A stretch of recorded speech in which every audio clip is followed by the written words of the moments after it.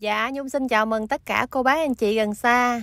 Xin chào cả nhà đã quay trở lại kênh Nhung Đặng Family Cuộc Sống Hoa Kỳ. Trước mặt cô bác anh chị đây là bánh chân. Bánh chân này Nhung mới vừa gói và nấu xong để nguội khoảng à, 7 tiếng rồi cô bác anh chị. Thì cái bánh sẽ như thế này. Nói chung cái món bánh chân này là của người Bắc, mà Nhung thì người miền Tây. Nên là cách gói và cách cái nêm nếm khẩu vị nó cũng khác thứ nhất là đây là lần đầu tiên nhung gói nên là trong quá trình gói nhung đã rút rất nhiều kinh nghiệm và nhung thấy có một số lỗi cần phải sửa đổi. Nhưng mà hôm nay nhung xin mạnh dạng chia sẻ cái video này cho cô bác anh chị và trong quá trình làm á là nhung sẽ à, chia sẻ cái lỗi và cái khuyết điểm để cô bác anh chị mình á, lần đầu à, tập làm giống như nhung thì có thể sẽ làm tốt hơn. Nếu mà cô bác anh chị nào thích thì có thể tham khảo cách làm của nhung và có thể cùng vào bếp thực hiện với nhung nha. Trước tiên thì mình sẽ đi ngâm đậu xanh. Ở đây Nhung sử dụng cái đậu xanh này là bóc vỏ ra nha cô bác anh chị mình do thiệt sạch nha. Do nhiều nước thiệt sạch đến khi cái nước trong như thế này mình sẽ để ngâm ở đây. Nếu ngâm qua đêm thì càng tốt. Và đây là cái à, bông hoa đậu biếc khô nè cô bác anh chị. Giờ Nhung sẽ rửa sạch và cho vào trong cái ấm Nhung pha giống như pha trà để mình lấy cái nước mình ngâm nếp ha. Tại vì hôm nay Nhung sẽ gói cái bánh này với là cái màu à, màu tím của hoa đậu biếc này. Rồi bây giờ Nhung sẽ đi cân phần nếp nếp ở đây thì hôm nay nhung sử dụng cái nếp hạt tròn. Nào cô bác anh chị, nếp hạt tròn của thái nha. Rồi cái lượng nếp nhung sử dụng hôm nay là một ký. Bây giờ nhung cũng đi do cho thiệt sạch. Sau đó nhung sẽ đổ cái cho cái nước mà bông đậu biết mình mới vừa nấu xong á. Giờ đây ngâm nếp để cho cái nếp mình nó thấm trong cái màu vô đây luôn. Tại vì hôm nay mình gói nếp khô nha. Rồi bây giờ mình sẽ để nếp và đậu ngâm ở đây. Nhung sẽ đi chuẩn bị cái phần thịt. Ở đây nhung sử dụng thịt ba chỉ nha cô bác anh chị. Nhung đã lóc bỏ da đây rồi, tại nhung không thích ăn da rồi bây giờ Nhung sẽ tẩm ướp nguyên liệu nha. Ở đây Nhung sẽ cho một muỗng rưỡi cà phê à, muối nào cô bác anh chị. Rồi một muỗng cà phê hạt nêm nha. Rồi một muỗng cà phê đường. Rồi một muỗng cà phê nước mắm luôn. Nước mắm sẽ làm cho thịt mình nó mềm và nó ngon hơn. Nó thơm đậm đà hơn. Tại người miền Tây thích ăn nước mắm. Và đây là một phần hai muỗng cà phê tiêu. Rồi bây giờ à, Nhung sẽ cho vào đây một ít là dầu mè. Dầu mè sẽ làm cho thịt à, của mình nó thơm hơn. Và cái hương vị nó sẽ đậm đà hơn. Rồi bây giờ nhung sẽ mang bao tay và nhung sẽ trộn cái phần thịt này lên. Mình phải trộn mà bóp đều thịt như thế này mà xa thịt cho thịt thấm đều hết cái nguyên liệu nha cô bác anh chị.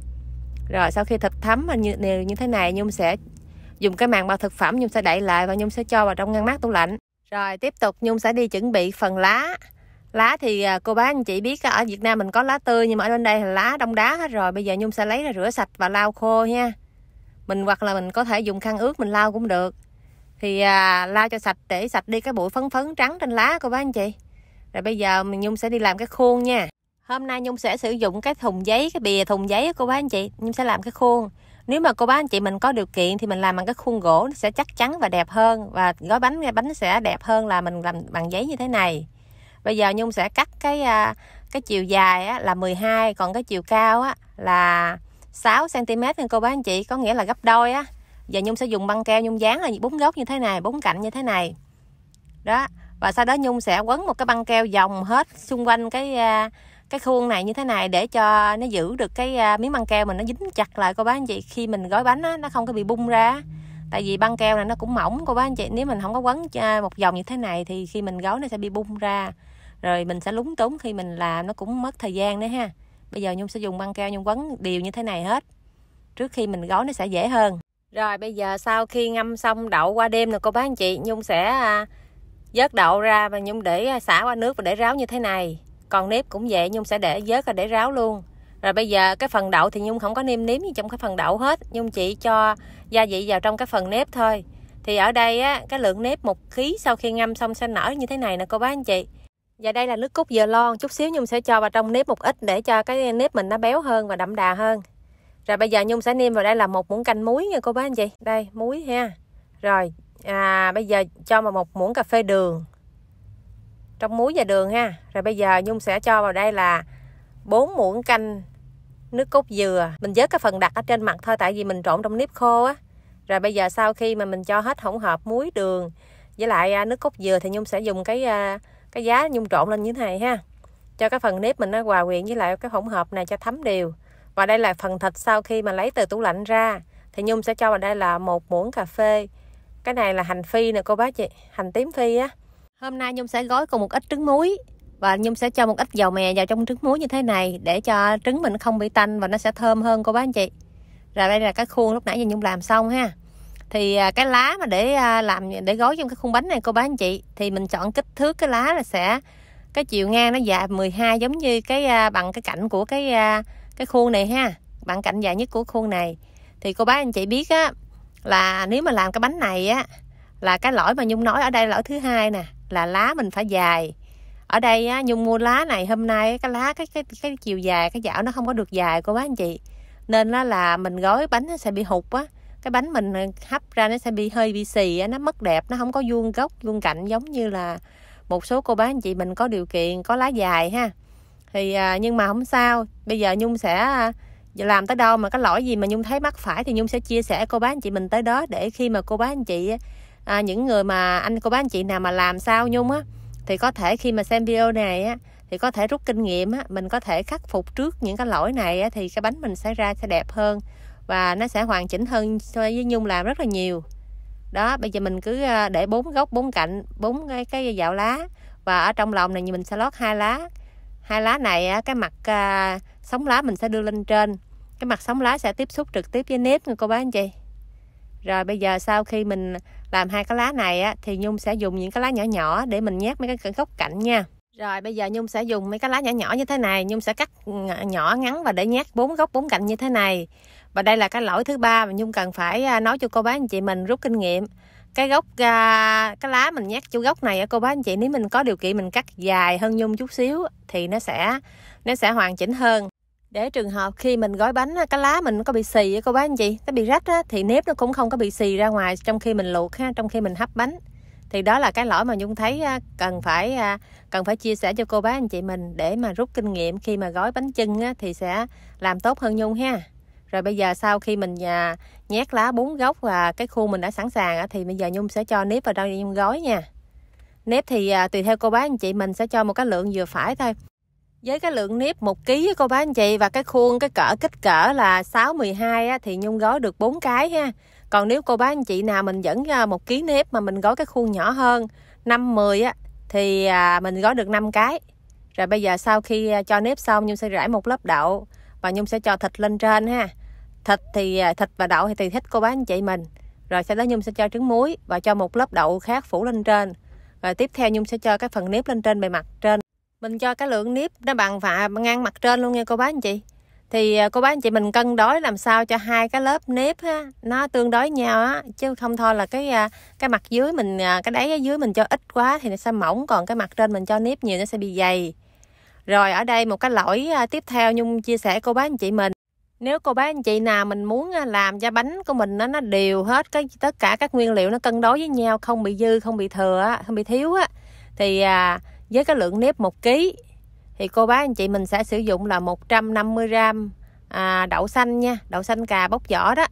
Rồi à, cái lượng thịt là nửa ký là nhung thấy là đúng luôn cô bác anh chị nhung thì nhung chuẩn bị hơi bị nhiều cái lượng thịt nhung chuẩn bị tới bảy tám trăm gram. Thì không sao dư thì mình để dành không sao.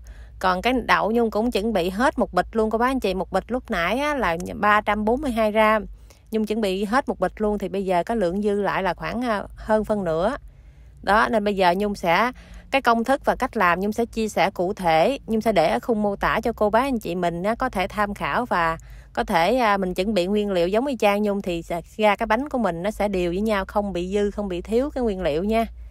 Rồi đây là cái cách gói của nhung thì cô bác anh chị mình có thể xếp à, theo tùy theo góc như thế này ha. Rồi mình sẽ bẻ bẻ góc theo tùy theo cái à, khía cạnh từ từ nè cô bác anh chị. Sau đó cái cái à, miếng cuối cùng á thì mình sẽ cắt như thế này cho nó gọn gàng là mình bẻ ngược vô trong. Rồi đây. Đó mình sẽ lộn ngược trong như thế này và mình cố gắng mình làm sao? Nói chung cái lá là cô bác anh chị thấy cái lá cô nhung gói nó không có được đều là tại vì cái dạo của nó không có được dài. Cô bác anh chị nên đó là hai cái mặt bánh nó không có được đều không có được đẹp với nhau. Rồi đây là tới cái khâu quan trọng là cái khâu cột bánh nè cô bác anh chị. Cột bánh thì cũng tùy theo cô bác anh chị. Mình bánh lớn bánh nhỏ khuôn lớn khuôn nhỏ thì mình sẽ cột cái cái um, cái mấu đó nó khác nhau ha. Ở đây nhung làm cái khuôn này hơi bị lớn á nên là nhung sẽ cột là mỗi một uh, một mặt là nhung sẽ cột ba sọc ba sọc như thế này để cho cái bánh mình nó vững nó nó cứng nó chắc chắn hơn khi mình luộc nó không có bị xì nếp ra ngoài. Còn nếu cô bác anh chị nào mình gói cái à, cái bánh nhỏ thì có thể mình sử dụng hai dây hoặc là nếu mà cô bác anh chị mình gói cái lá mà nó đủ chiều dài á, lớn lá nó cứng á, thì góc cạnh đâu đó nó đã vuông dứt hết trơn rồi thì cô bác anh chị mình có thể cột hai hai à, hai sọc cũng được không cần phải ba sọc giống như nhung ở đây nhung cột ba sọc là cô bác anh chị biết thứ nhất là cái lá nhung không có đủ không có đủ phủ đầu hết. Cái thứ hai nữa là cái bánh nhung làm hơi bị lớn á. Đó bây giờ nhung sẽ gói cột cho cô bác anh chị mình xem ha. Mình xoay như thế này. Đó cái lá này nó không có đủ. Cô bác anh chị đúng ra cái lá này phải bẻ một góc ngược trở lại nhưng mà nếu bẻ ngược lại thì nó sẽ bị nó bị dướng rồi nên nhung á, là gói không có được đẹp.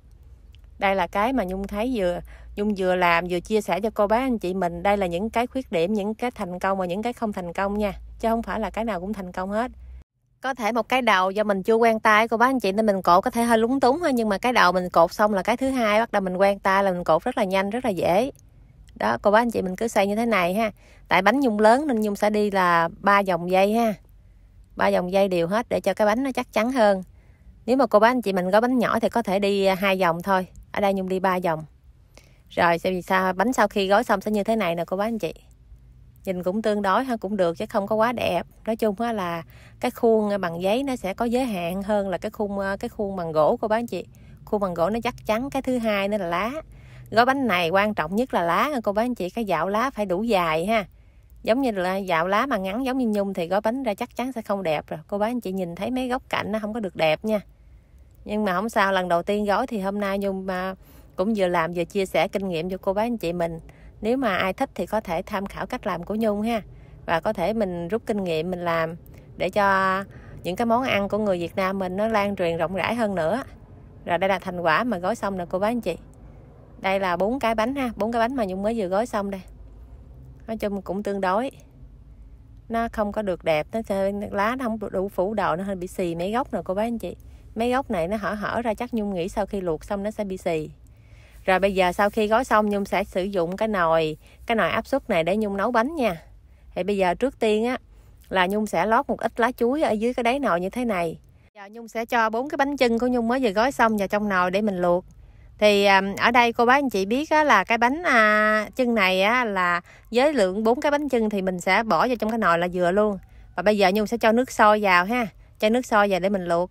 Tại vì cái nồi là nồi áp suất cô bác anh chị không cần phải cho ngập cái bánh đâu không cần phải giống như là mình à, mình hấp lò ga mình luộc lò ga đâu. Luộc lò ga thì mình phải cần cho nước cho ngập bánh ha cần phải lấy đồ đè dằn xuống nơi hơi bánh nổi lên không chín. Còn cái nồi này áp suất có nghĩa là cái hơi nó vẫn trong cái nồi nó không có bị bay hơi ra ngoài. Nên là cái hơi nó sẽ đi vòng đều hết cái nồi luôn. Cô bác anh chị yên tâm là bánh mình sẽ chín đều hết nha. Và bây giờ nhung sẽ đậy nắp lại và nhung sẽ bấm nút để nhung nấu. Thì um, ở đây á, là nó có cái nồi này nó rất là tiện lợi và có nhiều chức năng. Nhung sẽ chọn cái nút đầu tiên này. Đây và nhung sẽ nấu ở thời gian là một tiếng 30 phút. Rồi sau khi hết giờ mình sẽ dỡ cái nồi ra, mình lấy bánh ra ngoài, mình rửa và mình ngâm, cô bác anh chị. Cô bác anh chị mình lưu ý là rửa qua nước lạnh ha. Rồi nếu mà có thể mình ngâm khoảng 15 20 phút để cho bánh nó nguội lại trước khi mình đem bánh ra ngoài để mình đi dằn bánh á. Rồi bây giờ để cho cái bánh nó vuông dứt nó đẹp thì nhung sẽ dùng giấy bạc, nhung sẽ quấn vòng vòng cái bánh như thế này. Và nhung sẽ dùng vật nặng, nhung đè lên đây để nhung đè ép bánh lại cho nó dẻ bánh cho ngon. Thì thời gian có thể là từ 5 7 tiếng tùy thích nha rồi bây giờ sau 7 tiếng nè, cô bác anh chị, sau một đêm nè, thì bánh nó nhung như thế này ha. Rồi bây giờ nhung sẽ lột ra để cắt cho cô bác anh chị mình xem thành quả bên trong nó như thế nào. Tại vì bánh sau khi rửa xong á, nhung gói trong cái giấy bạc thì nó hơi bị ướt, cái vỏ như thế này. Nếu mà cô bác anh chị mình không có gói trong cái giấy bạc, hoặc là không có bọc trong cái màng bao thực phẩm mình để mình dằn luôn thì lá sẽ bị khô, cô bác anh chị. Rồi bây giờ sau khi à, tháo lá xong thì cái bánh như thế này để nhung cắt cho cô bác anh chị mình xem nha cái nếp rất là dẻo cô bác anh chị, dẻo cái dao mà nhung cắt muốn không đứt luôn như nè. Công nhận nếp này dẻo lắm luôn á. Nếp thái rất là dẻo và rất là thơm. Rồi đây thành quả trong nồi cô bác anh chị ơi, cái màu cũng rất là đẹp. Nó bánh rất là dẻo và, ô cái trứng muối đẹp chưa? Nó cô bác anh chị mình đã nhìn thấy chưa? Để nhung đưa gần cho cô bác anh chị mình xem nè. Đó, cái bánh, cái màu cũng rất là đẹp nói chung là nếu mà cô bác anh chị mình thích màu lá dứa thì mình có thể cho màu lá dứa vô trong cái thay thế cái màu à, bông đậu biếc cũng được ha. Nói chung tùy thích hoặc là mình để cái màu tự nhiên của nếp mình không cần phải cho màu gì hết cũng được. Thì tùy theo sở thích của cô bác anh chị mình thích làm cách như thế nào thì mình sẽ trang trí và mình sẽ chuẩn bị màu như thế đó nha. Rồi bây giờ sau khi cắt bánh xong thì cái bánh như thế này nè cô bác anh chị. Để nhung cắt hết rồi nhung mời cả nhà mình cùng thưởng thức nha. Cô bác anh chị mình có thể nhìn gần cái nếp nè cô bác anh chị cái nếp rất là trong và nhìn thấy rất là dẻo luôn. Và bánh sau khi cắt xong thì bên trong bánh trứng muối thì đều ha. Và thịt thì, cái lượng thịt thì cũng tương đối. Nếu mà cô bác anh chị mình thích ăn thịt nhiều thì cho thịt nhiều ha. Rồi đây là cách làm của Nhung. Và đây là thành quả mà Nhung vừa làm xong và Nhung đã cắt ra đây. Rồi để Nhung mời cả nhà mình cùng thưởng thức nha. Để Nhung thử bánh, coi bánh à, bên trong như như thế nào. Nói chung cái món này là phải ăn kèm với dưa món của người Bắc thôi cô bác anh chị. Là sẽ đậm đà hơn ngon ha ở đây Nhung làm á thì à, cái khẩu vị của mình nêm nếm là cũng vừa ăn thôi không có quá lạc mà cũng không có quá mặn. Nếu mà cô bác anh chị nào mình à, thích đậm đà hơn thì à, mình ăn không cần phải dưa món thì mình có thể nêm đậm đà hơn chút xíu. Thì đây là cách làm của Nhung. Để Nhung lấy bánh ra Nhung mời cả nhà mình cùng thưởng thức nè. Để Nhung lấy ra dĩa chút xíu một cái này coi. Ồ, bánh rất là thơm cô bác anh chị. Thơm mùi trứng muối thơm thơm mùi dầu mè lắm. Và cái nếp rất là dẻo nè. Cái màu cũng rất là là đẹp cũng tương đối thôi không quá đậm ha. Tại vì mình ngâm nếp mà không phải mình à, nấu luôn cái nước thì nó sẽ đậm hơn. Đó cô bác anh chị mình nhìn thấy chưa? Đâu trứng muối rất là đẹp cái màu rất là đẹp luôn nè. Rồi Nhung xin mời tất cả cô bác anh chị mình cùng thưởng thức với Nhung nha. À, Để Nhung ăn thử miếng cho cô bác anh chị mình xem đây. Đây Nhung đưa gần cô bác anh chị mình nhìn nè. Cái đậu rất là mềm, cái nếp rất dẻo Và thịt cũng đã chín đều, đã mềm thịt luôn cô bác anh chị Rất là ngon. Nhung xin mời cả nhà. Uhm. Cái nếp rất là dẻo cô bác anh chị. Và cái trứng muối mặn mặn vừa ăn ha. Cái thịt thì nó cũng vừa ăn luôn nó không có quá mặn cũng không có quá lạc. Cái nếp thì mình cũng có nêm gia vị rồi thì cũng rất là ngon. Và đặc biệt là thơm cái mùi dầu mè rất là thơm luôn cô bác anh chị. Món bánh chưng này á đúng ra ăn với lại à, à, dưa món thì sẽ ngon hơn đậm đà hơn. Nhưng mà hôm nay nhà nhung không có cái dưa món sẵn đó nhung chỉ mời cô bác anh chị mình thưởng thức với nhung đơn sơ như thế này thôi À, à qua đây Nhung cũng xin nói lời cảm ơn tất cả cô bác anh chị gần xa đã yêu thương, ủng hộ và đăng ký kênh cho Nhung trong suốt thời gian qua. Nếu mà có thắc mắc gì về nguyên liệu cũng như cách làm thì cô bác anh chị vui lòng à, để lại à, bình luận bên dưới video này hoặc cũng có thể à, để lại lời nhắn email Facebook cho Nhung. Nhung sẽ cố gắng trả lời trong thời gian sớm nhất và trong khả năng hiểu biết của Nhung. À, tất cả những nguyên liệu của cái món bánh này á Nhung để ở cái khung mô tả. Cô bác anh chị mình có thể tích vào đó để xem chi tiết cách làm à, cũng như là nguyên liệu ha.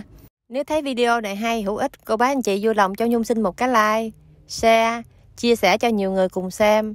Cũng giống như là bấm nút đăng ký kênh ủng hộ Nhung. Nhung xin cảm ơn tất cả cô bác anh chị rất là nhiều. Nhung xin chào và hẹn gặp lại ở những video tiếp theo.